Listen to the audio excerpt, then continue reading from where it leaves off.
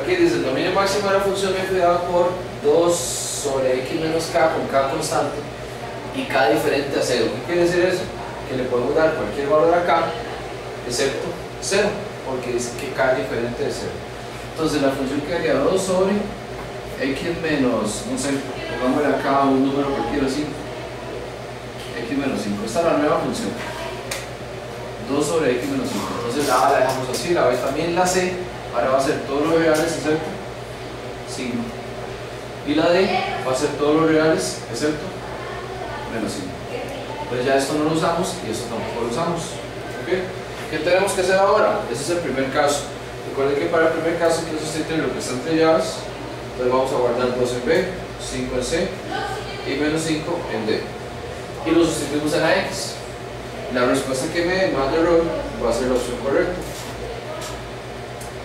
La A me da menos 2 tercios, la C, la B, perdón, la C me da más de error y la D me va a dar eh, menos un quinto. Por lo tanto, la opción correcta sería la opción C.